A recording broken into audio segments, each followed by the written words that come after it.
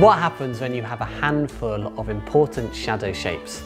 The answer is that it gives you the freedom to go completely crazy everywhere else. We're going to take a reference photo and change the colour completely. We're going to change the whole feel of the painting, but what we are going to extract from it is just enough detail to make sense of it. I'll see you there.